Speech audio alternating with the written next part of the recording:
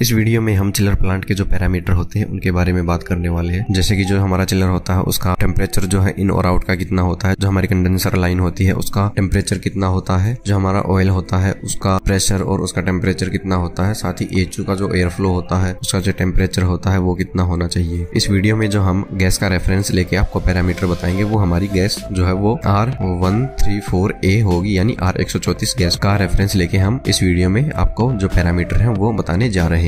सबसे पहले देखते हैं जो हमारा चिलर प्लांट होता है, उसका जो टेम्परेचर इन और आउट का होता है, वो कितना होना चाहिए। जो हमारा चिलर होता है, उसका जो आउट टेम्परेचर होता है, वो छह डिग्री सेल्सियस या फिर फोर्टी थ्री डिग्री फेरनहाइट होना चाहिए। और जो हमारे चिलर में जो वाटर इन करता है, उसका जो टेम्परेचर होता है, वो बारह डिग्री सेल्सियस या फिर फिफ्टी थ्री डिग्री फेरनहाइट होना चाहिए। अब इसमें आपको कंफ्यूज होने की ज़रूरत नहीं है। जो चिलर से आउट और इन यानी के जो हमारा इवेपरेटर होता है, उसमें जो पानी होता है, वो पानी जो एच यानी एयर हैंडलिंग यूनिट और हमारे इवेपरेटर के बीच में जो ट्रेवल करता है, वो जो चिलर से निकलता है तो उसका टेम्परेचर 6 डिग्री सेल्सियस होता है और जब वो एचयू में से घूम के वापस चिलर में आता है तो उसका जो टेम्परेचर है वो 12 डिग्री सेल्सियस होना चाहिए। ये कोई फिक्स नहीं है जो हम यहाँ पे टेम्परेचर बताने जा रहे हैं जस्ट रेफरेंस या फिर आप एवरेज पैरामीटर कह सकते हैं कि हाँ इनके आसपास ही या फिर हल्का फुल्का इनसे ऊपर या फिर नीचे जो हमारे पैरामीटर है वो सेट होते हैं। इसके बाद हम अपनी जो कंडेंसर लाइन होती है, जो की हमारे चिल्लर का जो कंडेंसर होता है, उसके और हमारे कूलिंग टावर के बीच में जो पानी ट्रेवल करता है, जो हमारा चिलर होता है, उसका जो कंडेंसर आउट होता है, वो 34 डिग्री सेल्सियस या फिर 93 डिग्री फेरनहाइट होना चाहिए और जो वापस कूलिंग टावर से घूम के फिर से हमारे कंडेंसर में आता है, उसका जो टेम्परेचर होता है, वो 28 डिग्री सेल्सियस या फिर 82 डिग्री फेरनहाइट होना चाहिए। इसके बाद जो हमारा कंप्रेसर होता है, उसमें जो ऑयल होता है, उस ऑयल का जो टेम्परेचर वो अगर 40 डिग्री सेल्सियस या फिर 104 डिग्री फेरनहाइट से कम है तो हमारा जो चिलर प्लांट है, वो चालू हो ही नहीं पाएगा। अगर इस ऑयल का जो टेम्परेचर है, वो 40 डिग्री से ऊपर है तो ही हमारा चिलर प्लांट स्टार्ट हो पाएगा।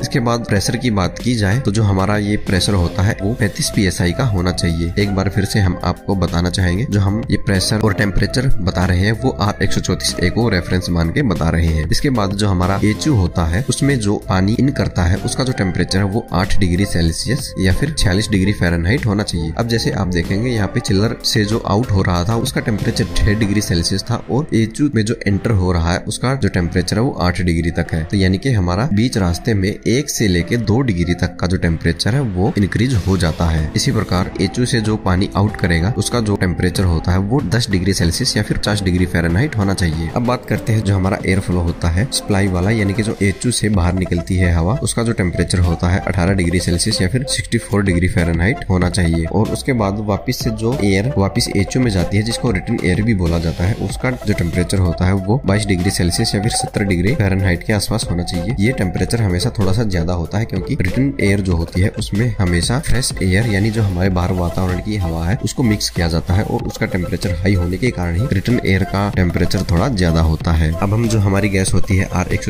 इसके प्रेशर की बात करते हैं। जो सक्शन प्रेशर होता है आर एक का, वो पैंतीस से लेकर पैंतालीस पी तक होता है। सक्शन यानी कि जो हमारा कंप्रेसर होता है, वो जो सक करता है गैस को, उसका प्रेशर सक्शन प्रेशर कहलाता है। अब जो डिस्चार्ज प्रेशर होता है, यानी कि कंप्रेसर जब गैस को कंप्रेस करके रिलीज़ करता है उसको डिस्चार्ज प्रेशर कहते हैं। वो डिस्चार्ज प्रेशर 100 से लेके 150 पीएसआई तक होता है। अब इसके बाद मान लीजिए हमारी मशीन जो है, यानी हमारा चिलर प्लांट जो है, वो चालू कंडीशन में नहीं है, वो स्टॉप कंडीशन में है। तो ऐसे में जो प्रेशर हम देखते हैं, उसको स्टैंडिंग प्रेशर बोला जाता है। और ये स्टैंडिंग प्रेशर जो होता है, वो पिचासी से लेके पिचानवे पीएसआई तक हो सकता है। ये हमारे लोकेशन और फिर वेदर के ऊपर डिपेंड करता है कि हमारी कौन सी लोकेशन पे किस तरह का वेदर है। उसके हिसाब से ही हमें ये प्रेशर मिलता है। अब बॉइलिंग पॉइंट क्या होता है? ज़्यादातर इसका नाम सुन के यही सोचेंगे कि जिस टेम्परेचर के ऊपर गैस बॉइल करती है, उसको बॉइलिंग पॉइंट कहते हैं। लेकिन यहाँ पे हम ये कहेंगे, जिस पॉइंट के ऊपर, यानी जिस टेम्परेचर के ऊपर जो गैस होती है, वो अपनी फॉर्म को चेंज करती है, यानी कि लिक्विड से गैस में बदलती है, उसको बॉइलिंग पॉइंट बोला जाता है, जो कि माइनस छब्बीस डिग्री सेल्सियस होता है। तो उम्मीद है चिलर से जुड़े ये पैरामीटर आपको समझ में आ गए होंगे। इससे जुड़ा अगर आपका कोई भी सवाल है तो आप हमें नीचे कमेंट में पूछ सकते हैं। अगर आप चिलर प्लांट में कौन कौन सी सेफ्टी का इस्तेमाल किया जाता है, इसके बारे में जानना चाहते हैं तो आप हमारी राइट वाली वीडियो देख सकते हैं। और अगर आप ये